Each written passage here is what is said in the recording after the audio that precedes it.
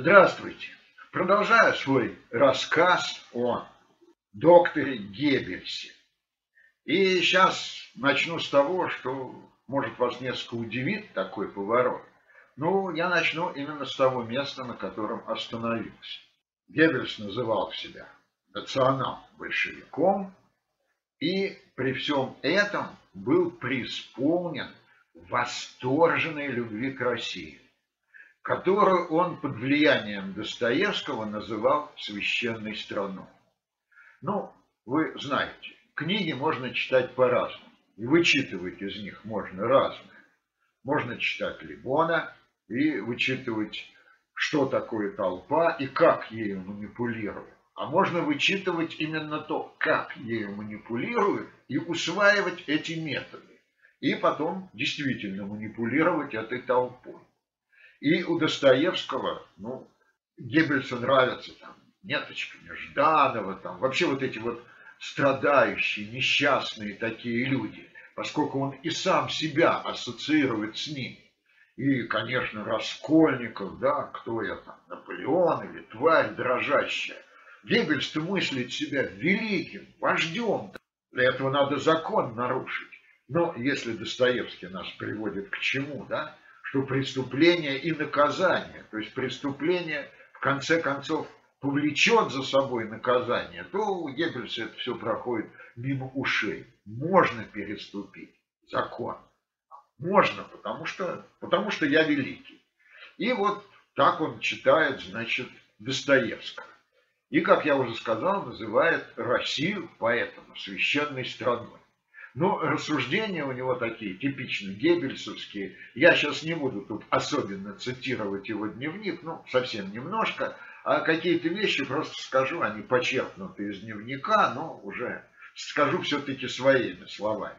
Он вот считал большевистскую систему, которая установилась в Советском Союзе, временным явлением. Он считал, что вот Россия преодолеет этот большевизм и вступит на путь идеального социализма, который будет создан новым человеком. Ну, у Геббельса понять что-либо сложно, что новым человеком он никак не объясняет.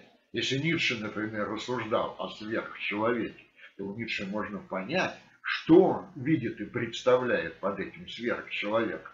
У Геббельса ничего подобного. Новым человеком и все. Вот этот новый человек будет создан, а социализм будет идеальным. Что значит идеальным? Опять непонятно.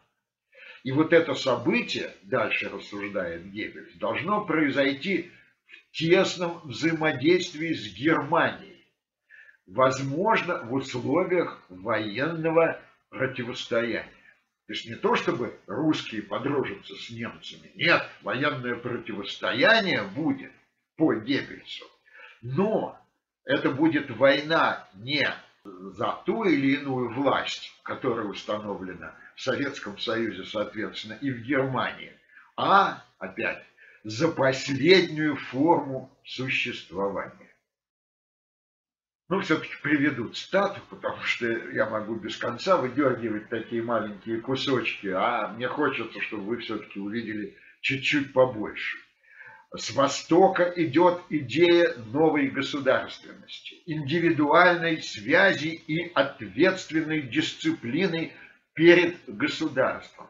Национальная общность – единственная возможность социального равенства. В России разрешение европейского вопроса.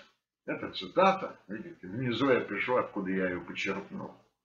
То есть, дисциплина перед государством то есть для Геббельса не стоит вопрос, что выше, личность или государство. Конечно, государство. Личность можно принести в жертву во имя вот каких-то государственных интересов, государственных целей. А общность достигается за счет чего? Это вот национальность, одна национальность. Никаких инородцев, ничего.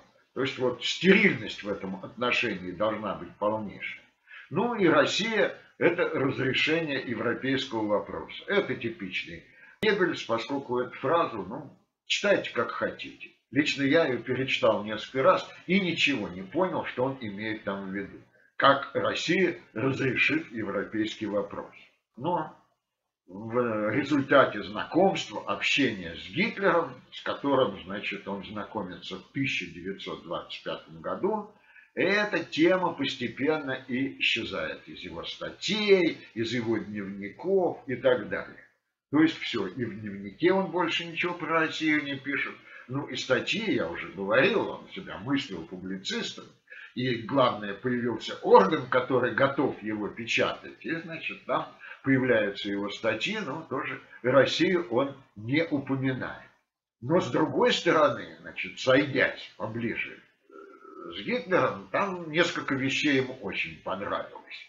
Ну, во-первых, когда, значит, Гитлер назвал социализм еврейским творением, это ладно.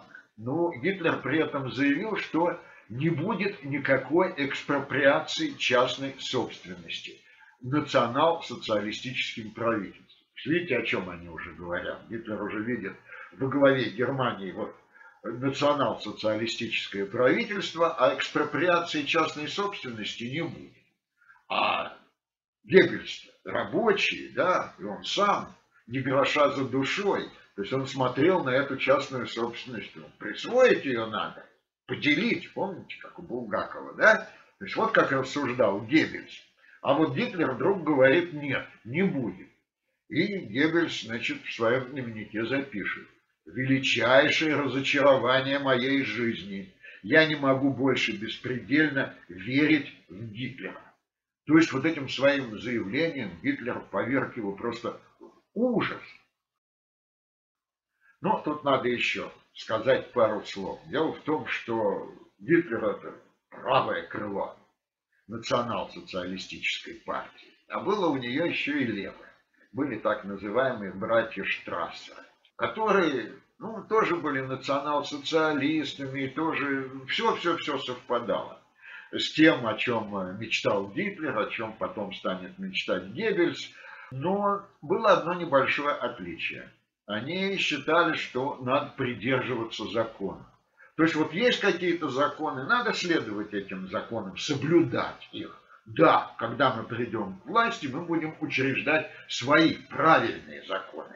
А сейчас вот мы вынуждены действовать в такой обстановке, существует эта самая Веймарская республика, у нее есть свои законы, их нельзя нарушать.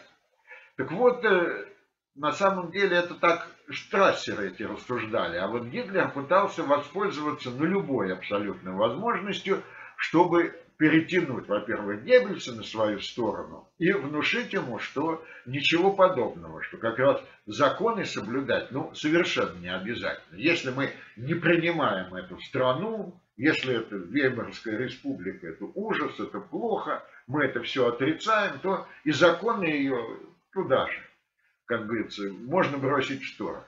А вот Геббельс метался, понимаете, есть он Одно время к этим штрассерам обращался, и там у них что-то печатал. Одно время, значит, как я уже сказал, на правый лагерь. И вот Гитлер заметил в нем вот какую-то изюминку. Ну, похожи они на самом деле. Потому что Геббельс точно такой же фанатик, но только если Гитлер фанатик уже выношенной идеи, то Геббельс эту идею еще ищет. Ну, может, одна идея подвернется, может, другая, но готовность стать фанатиком идеи у него уже присутствует в полной мере. И вот э, Гитлер уловил все эти слабости Геббельса, и вот он разыгрывает такую сцену. Гитлер умел делать такие постановки.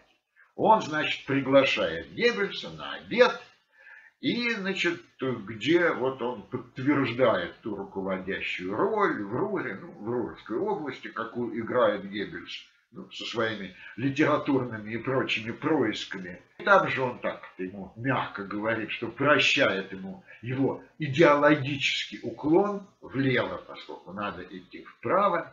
Но Геббельсу больше всего понравилось даже не это, а то, что когда он приехал вот, Гитлером, то его встретил, значит, лимузин черный, на котором ездил Гитлер. Этот вот лимузин отвез его в дом, где состоялась эта встреча, и там так приветствовали все Геббельса, то есть дали ему почувствовать, что он не пустышка, что он что-то. И тут же появляется другая запись в дневнике. Я люблю его, он все продумал. То есть вот знает, что надо делать. А помните, Геббельс, кто я, что я, зачем я? То есть свет должен прийти, озарение. Должно что-то такое, ну, с неба свалиться. И вот свалилось такое чудо. Адольф Гитлер. И с этой минуты Геббельс становится, ну, просто тенью фюрера. Ну, ведь я говорю фюрера, на данный момент Гитлер пока еще фюрером не стал, но впоследствии станет. А вот э, о том, что можно нарушать законы, я не случайно сказал до этого. Это Геббельс очень здорово усвоил, и он начинает бороться с коммунистами, которым сначала вроде бы даже симпатизировал. И бороться очень интересным способом. Он начинает во всем их копировать. Вот копировать как бы и передразнивать. То есть он даже вот берет их лозунги, там изменяет пару слов. Или, скажем, вот коллективизм коммунистический, да, вот эти вот все методы общения, работы, все-все он заимствует у них. И даже вот свои штурмовые отряды, которые, значит, он создает, ну, создает не он, но принимает участие в их создании, значит, он тоже вот реорганизует э, на такой вот манер, на союз красных фронтовиков. Ну, фронт по-немецки, потом и в русский язык это слово вошло, но на самом деле это переводилось так. То есть вот коммунисты образовывали вот этот союз красных фронтовиков, и вот Геббельс свои штурмовые отряды тоже начинает строить вот по тому же принципу. Те же шествия, те же демонстрации по городу и прочее.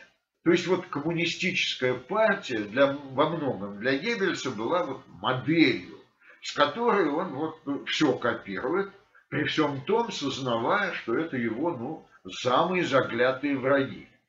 И это тоже он усваивает у коммунистов, что надо бороться за улицы. Геббельс потом прям скажет, что интеллигенция это вообще шваль. На них даже и время терять не стоит, обращаться к интеллигенции там и так далее. Бороться надо за улицы. А почему за улицы? Да ведь улица это именно толпа. И вот именно толпа должна пойти за тобой. И если ты сумеешь повести за собой толпу, ну, ты король, ты сможешь добиться всего, чего ты хочешь.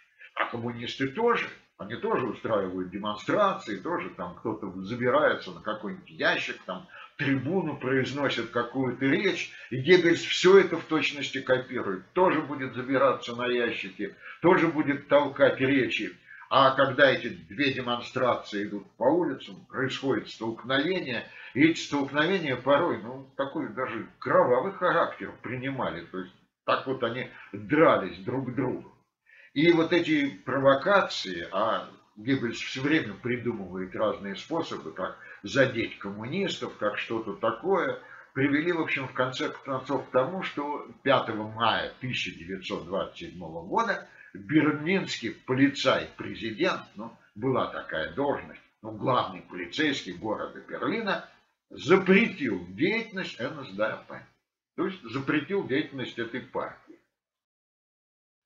Ну, раз на улице выходить нельзя, раз ничего делать нельзя, испугался Геббельс, и он, значит, опять возвращается к литературной деятельности. Он и до этого ее не оставлял, ну, как-то она была сбоку, а тут, ну, и, значит, снова принимается за свой роман Михаэль, который, значит, снова пытается уже в новом варианте издать. Но сейчас давайте по боку оставлю этого Михаэля.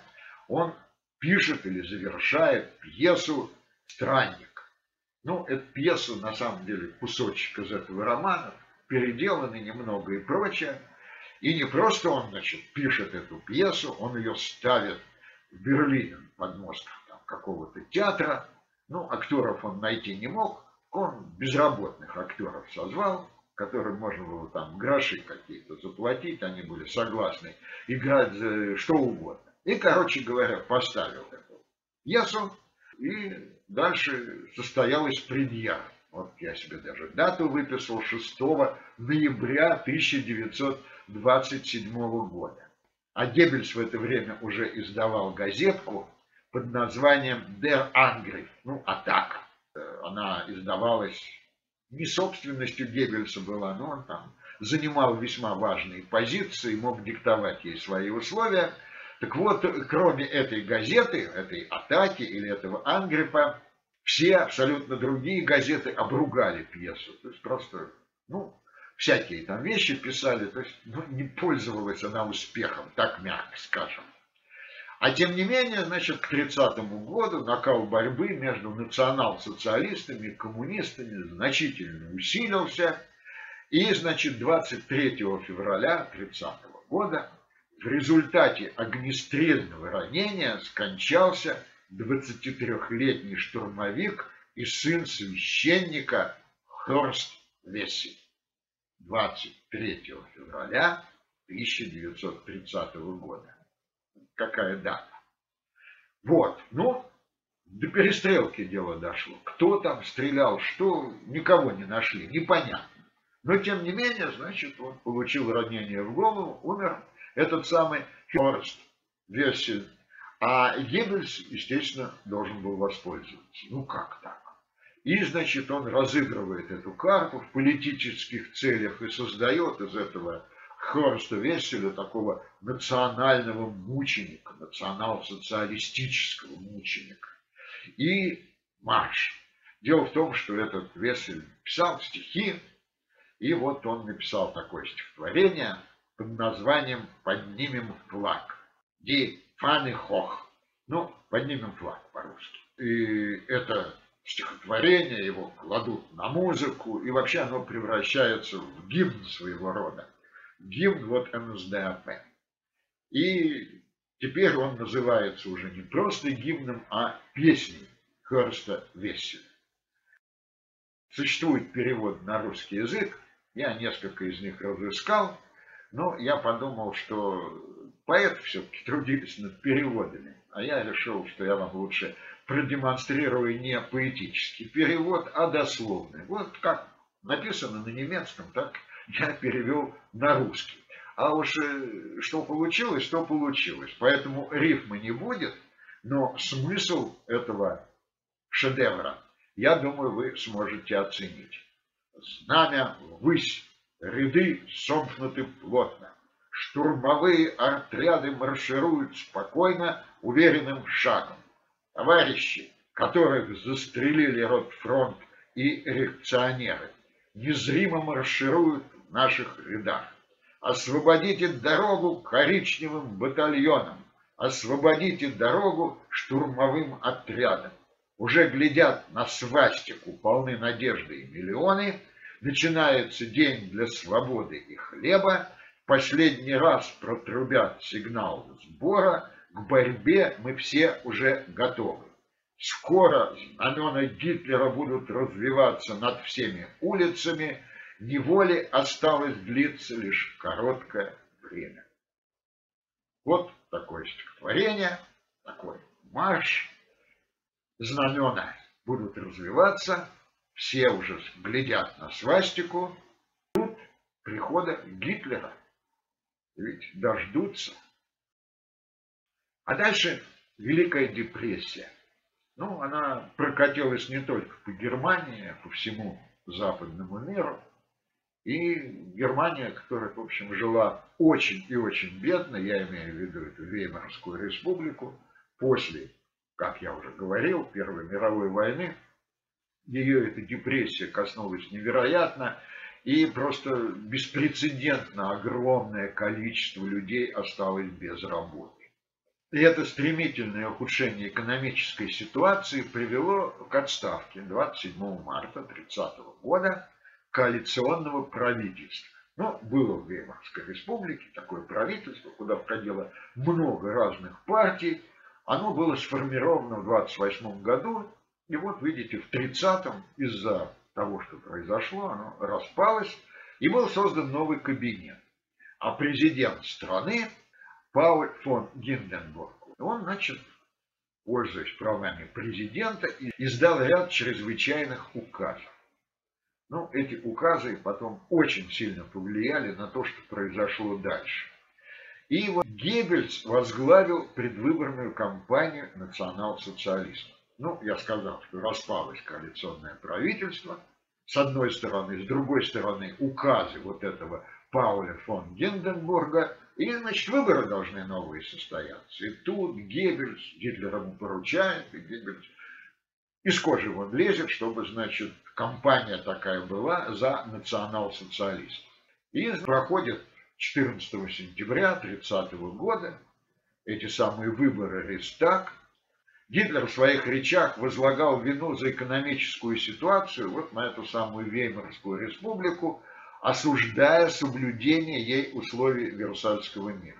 Ну, два слова буквально после поражения Германии, когда была создана эта Веймарская республика, то западные союзники, ну, вы помните, Россия, 17 год, революция, она вышла из э, войны с Германией, поэтому навязывали эти условия, тут Россия совершенно ни при чем, в основном это были Британия и Франция, так вот, э, навязали условия, ну, действительно, невероятные, совершенно огромные репарации – запрет иметь там э, промышленность военную, запрет иметь армию там больше какой-то определенной численности. Масса совершенно ограничений.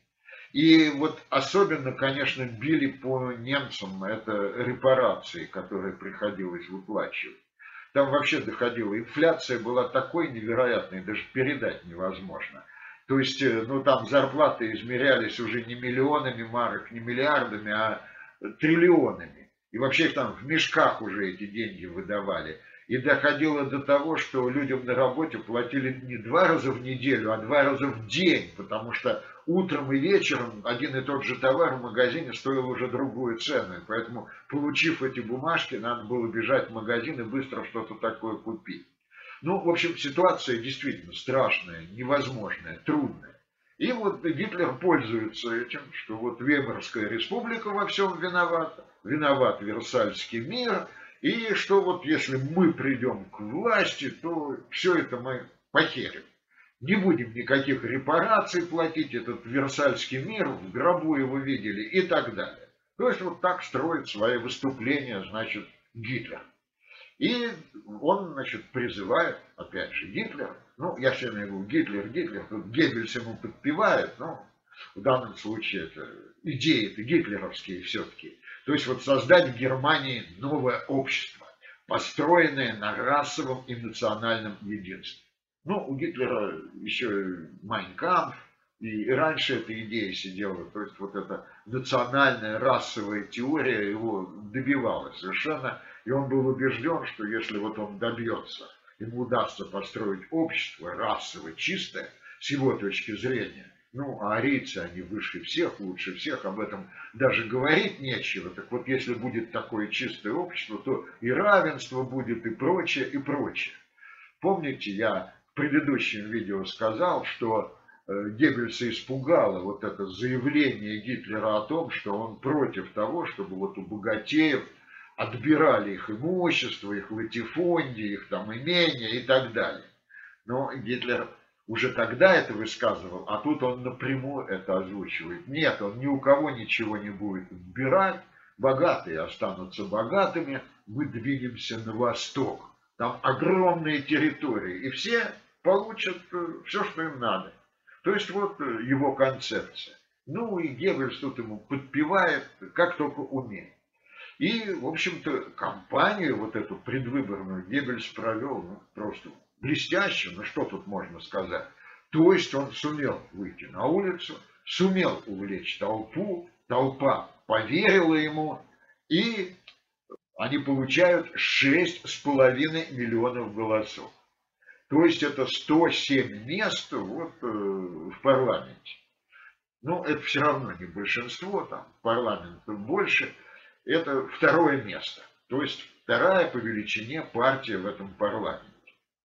И дальше Геббельс уже расходится, то есть он должен делать какие-то большие вещи. И вот в декабре 30 -го года он организует акции протеста, опять же, эти факельные шествия, все такое, против антивоенного фильма на Западном фронте без перемен. Ну, то, что этот фильм снят по ремарку, вы уже по названию догадались. Это действительно была экранизация, ремарка. Ну, 30-й год, можете представить, что это был за фильм, как он выглядел. Кстати, его можно разыскать в интернете и посмотреть. Но дело не в этом. А дело в том, что вот он добивается, Геббельс, что э, фильм цензура запрещает к показу за нанесение ущерба престижу Германии. То есть вот оказывается. Оказывается то, о чем писал Ремарк и о чем авторы фильма пытались рассказать, это нанесение ущерба. То есть еще пока прямо не говорится, что та новая Германия, какая она будет под руководством Гитлера и при агитации вот, э, Геббельса Германия, которая развяжет Вторую мировую войну. О войне пока не говорится, но фильм пацифистский, фильм против войны показывать нельзя. Ну и сейчас я обращусь к теме, которая, может, кого-то удивит, Геббельс и женщины. Ну, у каждого мужчины в жизни есть женщины. В общем-то, вроде бы ничего удивительного, и у Геббельса они должны быть. Но тут придется опять обратиться к его дневниковым записям, которые я сейчас, видите, отмотаю время назад и обращусь к юности, к студенческим годам, поскольку это параллельно все у него шло. Ну, сейчас такая, значит, будет у меня сборник, что ли, цитат маленьких. Я их сгруппировал вместе, и я их почерпнул в своем большинстве вот из книжки Елены Рыжевской. Смутное томление. Проснулся Эрос, уже мальчиком вульгарно просвещен. Я люблю женщину почти безумно. Борьба с полом. Думал, что болен. До сих пор не совсем преодолено. Я впервые поцеловал ее грудь. Лени. Ночь с ней в Райндалине на софе. Я чувствую себя мужчиной. Разрыв с Лены. Люблю Агнес. Холодный поцелуй на софе. Лизель любит меня, а я люблю Агнес. Агнес в Бонне, ночь с ней в комнате Хасана. Я целую ее грудь. Лизель в Бонне, ночь с ней в комнате Хасана. Я пощадил ее. Она бесконечно добра ко мне. Я понимаю, что это мешанина, но молодой парень, видите, Эрос одолевает его. Ну, тут прям за кадром и мастурбации вылезают, которыми он, несомненно, занимался. Ну, о чем все-таки напрямую в дневнике не пишет. Видите, пишет, думал, что он болен. Ну, и не до сих пор не совсем преодолено это. И вот, ну, провел время с женщиной. Я поцеловал ее в грудь. Как ему важно себя почувствовать мужчиной, да? Ну и видите, перечисление имен. Ну, на самом деле, тут э, не все имена, их значительно больше. Тут надо добавить еще одно, что отнюдь не все, что здесь написано, надо принимать, что так оно действительно и было. Я не удивлюсь, что половина того, что он здесь написал, просто придумал. Для Геббельса это было совершенно нормально. Ну, представьте себе, такой тщедушный, некрасивый, маленький. Ну, ну, ну не повезло от судьбы. И вот, тем не менее, вот он из кожи вон лезет, чтобы уверить себя, что у него есть какое-то сходство с Шиллером, например. Ну вот я вам показываю портрет Шиллера, чтобы вы взглянули. Ну, а рядом могу показать еще раз, хотя показывал уже портрет Геббельса. И такое могло явиться только ну вот, в каких-то в самом влюбленных фантазиях. А ведь в народе, даже когда он возвысился и стал вот занимать высокие посты в иерархии уже вот, э, национал-социалистической партии, то в народе его называли Сморчок. И, в общем, так действительно очень походил на этот Сморчок. И вот одновременно вот такой нарциссизм, который в нем останется до конца, до последних дней его жизни. Ну, вот некоторые историки, я назову двух, вот Ричард Эванс и еще вот Роджер Мэнсвилл, они предполагали, что его постоянная увлеченность слабым полом могла служить компенсацией физической неполноценности. Ну, они предполагали, чистый Фрейд на самом деле. То есть это, конечно, сублимация, то есть попытка вытеснить одним другое. Ну, я сейчас на Фрейда отвлекаться не буду, Ну, кстати, тот же Эванс и тот же Менвелл на Фрейда ссылаются. Но это оставлю в стороне. А вот э, интересная вещь. То есть уже позже, когда можно было не только следить за тем, что он пишет в своем дневнике, а просто люди видели, как это что происходит, то действительно получалось так, что он влюбляется в какую-то женщину и буквально там проходит какое-то очень короткое время, но уже влюбляется в другую. То есть эта страсть у него ну, длилась невероятно мало. Вот, одной из своих возлюбленных, Анки, была такая, Геббельс подарил томик своего любимого поэта Гейна. Видите, поэзию любил, Гейн. В общем, а это ведь книга, которая будет гореть в первых же вот кострах, который станет потом разводить на улицах, ну, фашистующая молодежь, там, и Геббельс, естественно, в том числе, когда он станет вот министром пропаганды и просвещения, то он будет даже речи произносить на фоне этих костров. А ведь э, Гейны предвидел все это, предвидел, провидел. У него даже строки такие есть. Кто сжигает книги, когда-нибудь будет сжигать людей. Это Генрих Гейн. Так вот, видите, одной из своих возлюбленных он вот подарил томик Гейна. То есть, понимаете, вот вроде бы влюблен во что-то. Но в данном случае это поэт, не женщина. Но поменять все это, повернуть на 180 градусов ничего не стоит. Симпатизировал коммунистам, сделал их своими злейшими врагами. Вот влюбляется в женщину, оказывается, что у нее там мама еврейка, все, любовь кончилась. Или вот с этой же самой Анки, точно тоже произойдет. И вообще вот эта перспектива длительных романтических связей, ну, беспокоила его всю жизнь. И беспокоило именно потому, что для него куда важнее была карьера. То есть вот вождь, состояться вождем. А женщина это что-то такое, мимо. И если связь долгая и крепкая, то она, по мысли Геббельса, будет мешать вот этому возвышению.